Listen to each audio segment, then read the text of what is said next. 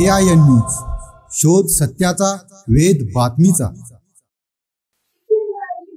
राजीव शिंदे महाविद्यालयामध्ये राजर्षी शाहू महाराज यांच्या शंभरव्या स्मृती दिनानिमित्त अभिवादन करण्यात आले.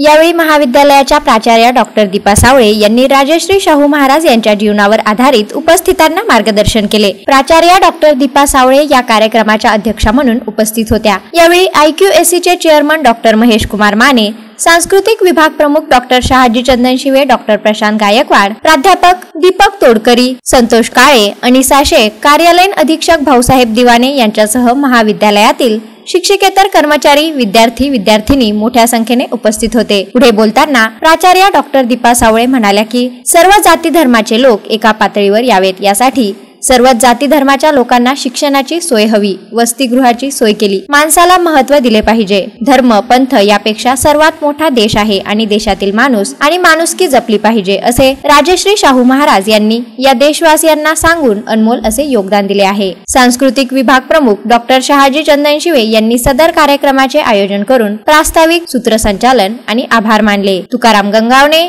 AIN news Paranda.